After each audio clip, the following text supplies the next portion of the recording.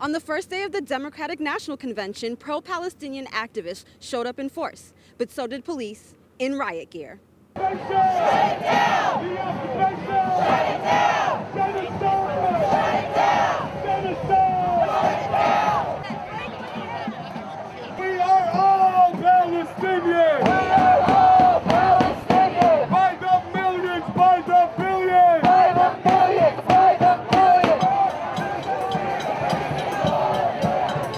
When the Washington Examiner asked them why they were here in force, here's what protesters told us. It's a reflection of the broad masses from across the United States. You know, the the issue of Palestine, the issue of genocide in Palestine is a central issue for everybody. Obviously, the Democratic National Convention is happening, and it's a big moment to basically say we're disgusted that the Democrats have just signed a historic um, military aid package to Israel of $20 billion right after Kamala Harris was in, uh, coronated, right?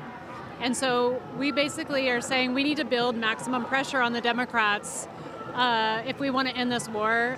Um, I can only speak for myself. I don't know about the other people here. I personally will never support Kamala Harris or the Democratic Party.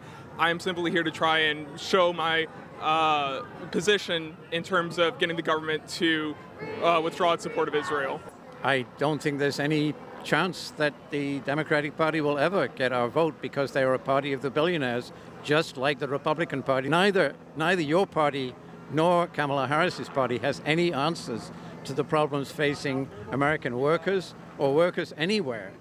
You don't have any solutions to the environmental crisis. You certainly don't have a solution to the crisis of the genocidal war on Gaza. Here at the Democratic National Convention at the United Center in Chicago, I'm Abinti Korshi with the Washington Examiner.